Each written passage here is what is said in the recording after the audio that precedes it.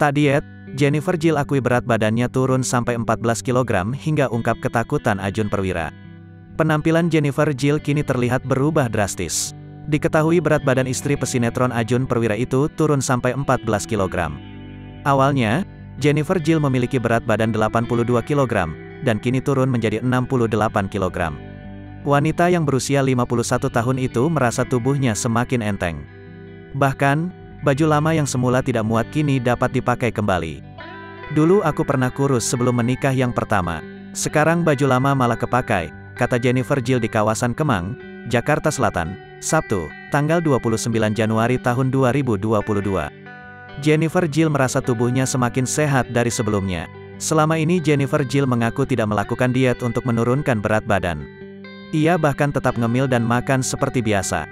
Nggak ada diet dan tetap makan, meski nggak makan nasi lagi, ucap ibu empat anak itu. Melihat Jennifer Jill terlihat semakin kurus dan langsing, Ajun Perwira justru khawatir akan ditinggalkan istrinya itu. Dia takut gue kabur, ucap Jennifer Jill tertawa. Ajun Perwira bahkan melarang Jennifer Jill menurunkan lagi berat badannya supaya tidak terlalu kurus.